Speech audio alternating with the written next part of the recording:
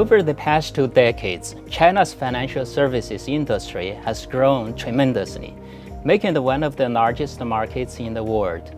However, the industry is unique due to the dominant influence of guanxi, a Chinese concept of purposeful social networking that involves the exchange of favors.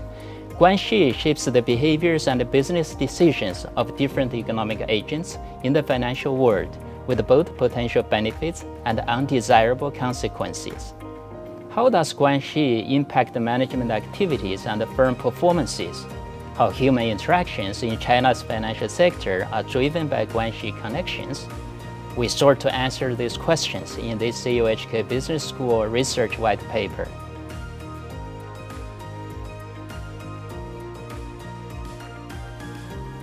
Financial analysts provide important market insights and data to help investors make informed decisions.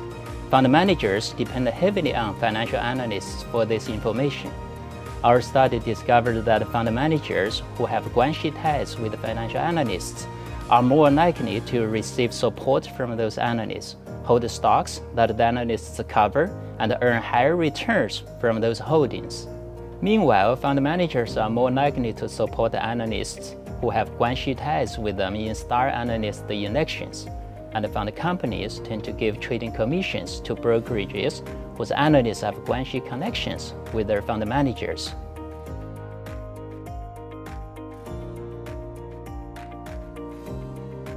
During IPOs, firms hire investment banks and audit firms to certify information disclosed to investors. The close collaboration between bankers and auditors during this process can create opportunities for social ties to deepen. We found that Guanxi connections increase the likelihood that bankers and auditors participate in the same IPO deal. Such engagement can undermine IPO audit quality and the interest of IPO firms. However, auditors may benefit from their social ties with bankers by commanding higher fee premiums and landing more IPO audit businesses.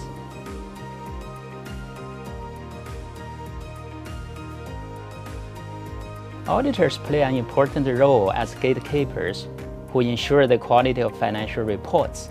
The social connections between auditors and the audit committee members can either help by sharing more information or hurt by making auditors less careful and biased. Our study found that the negative effects are stronger. More specifically, auditors with these connections are less likely to find problems in financial reports and when they do, they don't report them as seriously.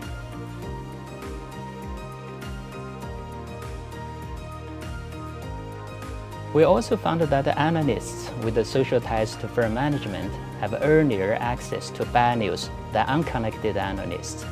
After acquiring the negative information, connected analysts tend to share it with their clients privately while remaining silent in public while connected analysts play an important role in enhancing transparency and monitor management. If they convey negative information privately, it may undermine investor confidence and hinder market growth. While guanxi ties are known to facilitate information sharing, our studies suggest that the drawbacks of these connections often outweigh their benefits. Investors, regulators, audit firms, and audit committees should take into account the possible impact of the Guanxi factor when making important decisions, formulating policies, or allocating resources. Mandatory disclosure of Guanxi connections could be helpful, and it might be wise to avoid partners who have Guanxi ties with certain economic agents. To learn more about this and other topics in our research white paper series, visit China Business Knowledge at CUHK.